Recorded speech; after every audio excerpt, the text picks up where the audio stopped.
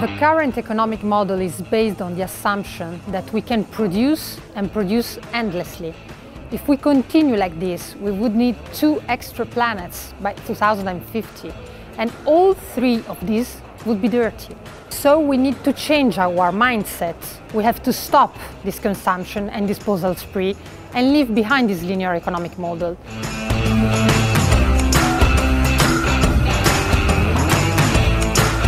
This urge to buy and then throw away is threatening our planet. It's threatening our health and also our economy. It doesn't make any sense. If we learn from nature, from its cycles, we will see that nothing is lost, but only transformed.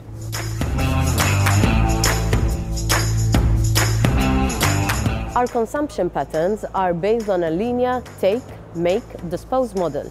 Things are not made to last, but it doesn't have to be like that. That is why we should turn this linear economy into a loop.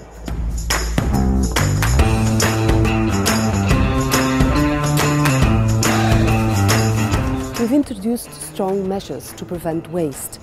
EU member states will have to reduce food waste and marine litter, in line with the 50% reduction target of the UN Sustainable Development Goals. So many gadgets, especially phones, computers, tablets, and electric appliances, could be designed to be recycled and reused. They should not be thrown away after a few years, but upgraded for extended use.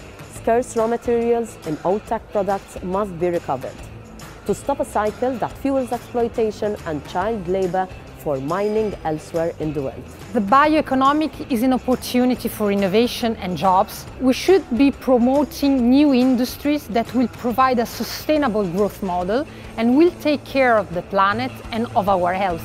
What some see only as waste, we see as a valuable resource. A dangerous and highly pollutant substance like biowaste can be turned into fertilizers for our farmers. Stop using harmful pesticides for a sustainable and healthy food industry. We need to step off the frenzied train of consumption and take a fresh look. The answers are there. Innovation is crucial, the citizens are calling for it, and the lawmakers are ready.